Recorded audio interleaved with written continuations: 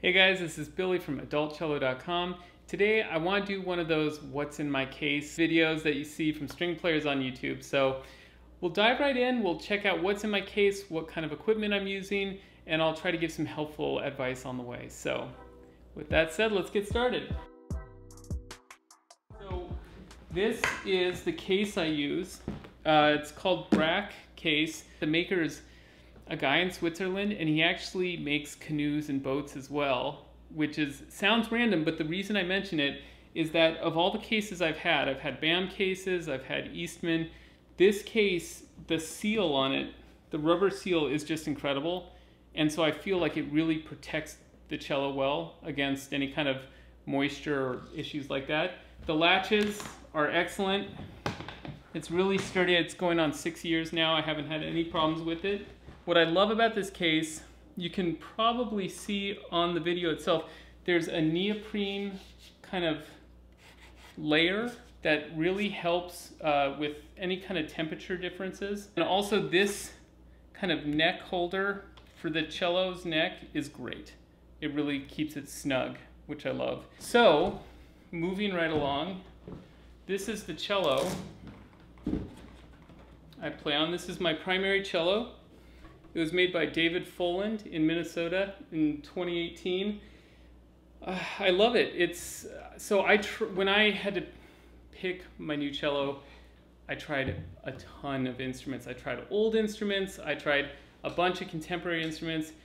Out of everything I tried, this one just kind of stood out. It has like a really thick, rich ribbon of sound, which I love, and it's also very straightforward, very easy to play. It's it's not temperamental. It's it's not got any kind of funky aspects to it that make it difficult. So that's the cello I use.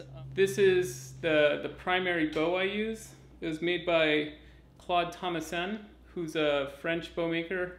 I feel very lucky to play on it. Um, I love it. It's very kind of a, a smooth, uh, I don't know, French kind of sound. I don't know how to put it, but I love it. So my backup bow is by a German maker, manufacturer family called Gotz. Um, and this is, again, I, I, really like playing on it. It's great.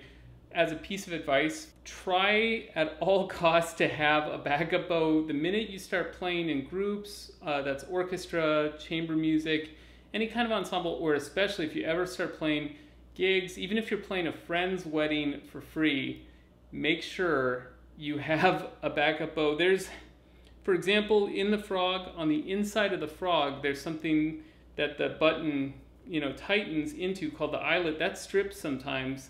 And if you have a stripped eyelet, you cannot tighten the bow. And until that's replaced and fixed, you basically don't have a working bow.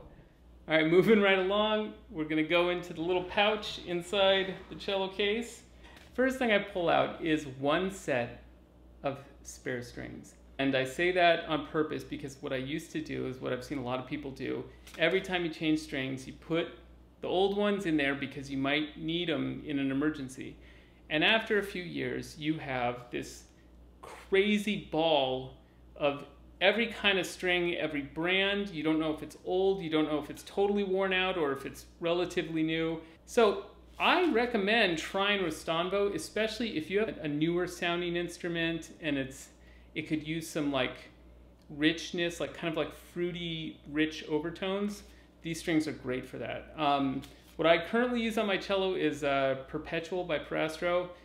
It's for me, it's they're a little darker, which I like on that cello, and they're also just really easy. The something about the tension of the strings just makes them really easy to play.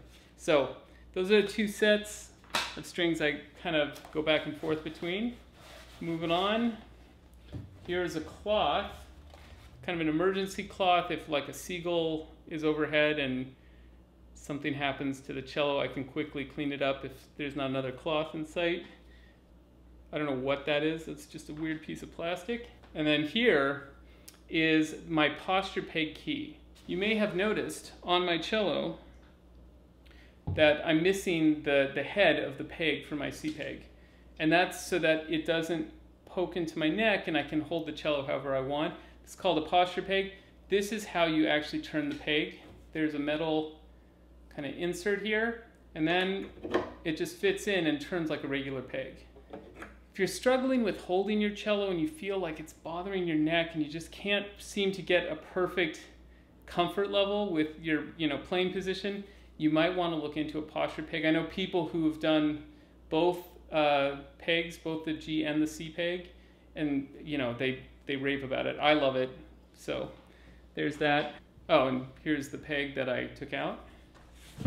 And that's it. So we're gonna switch to my bag because I have like a, a fear of overstuffing that pouch in there.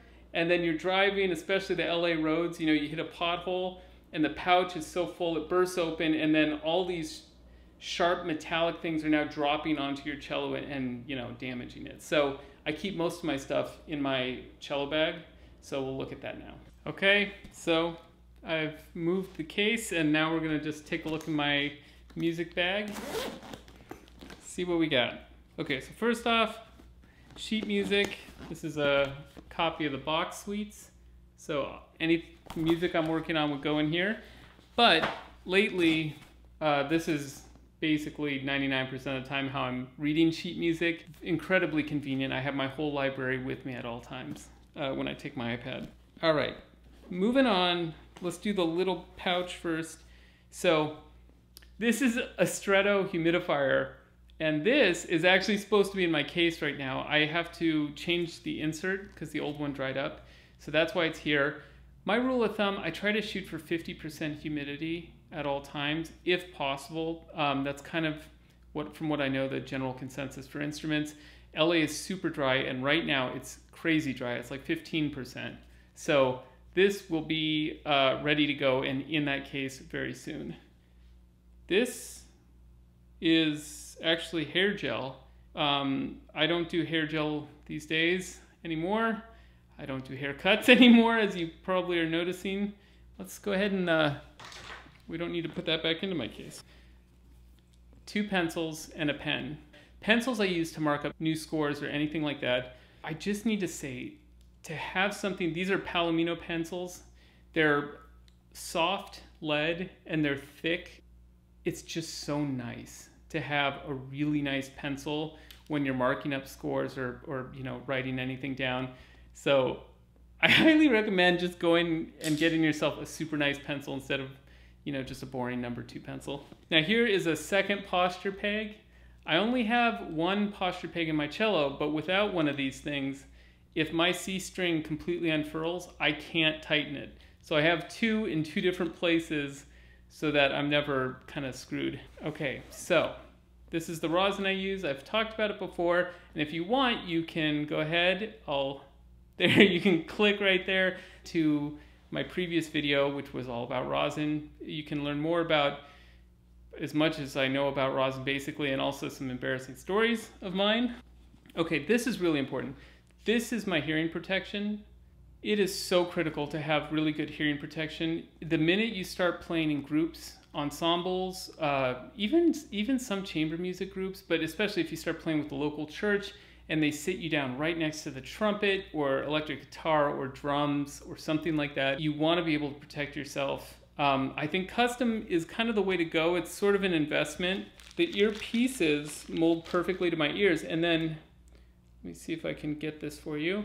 This is an example of the tiny little inserts that I can change out. This one attenuates 25 decibels of sound across the board okay? So I have little discs that can attenuate 9 decibels, 15, and 25 decibels. That way I can, you know, cut down the, the noise appropriately so I never feel like I can't hear myself. If you lose your hearing, it's kind of just gone.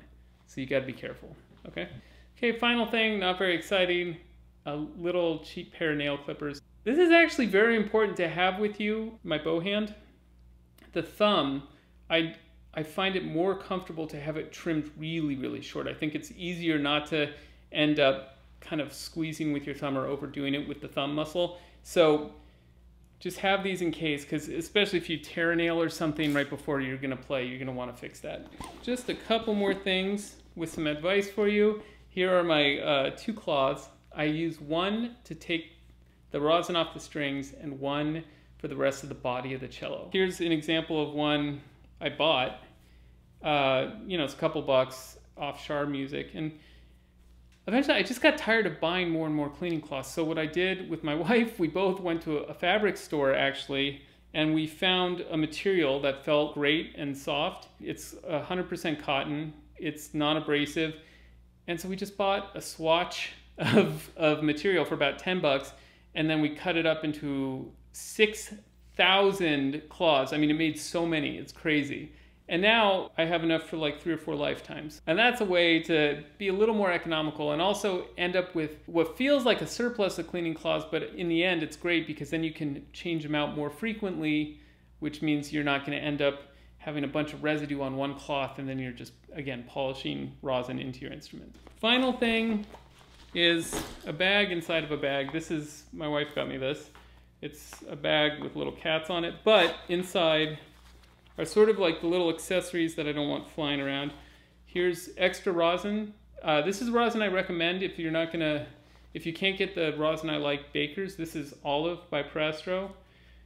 It even says half the time, this one doesn't, sometimes it even says violin viola. It's great for cello. Advil for if you're a cellist and you're an adult. I have a leather mute and I have a wood mute.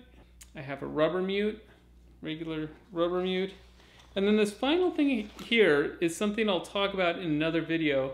This is this little piece of plastic is actually a finger guard for restricting the finger's motion. For me, it was the pinky because I was starting to develop a tiny bit of tendonitis.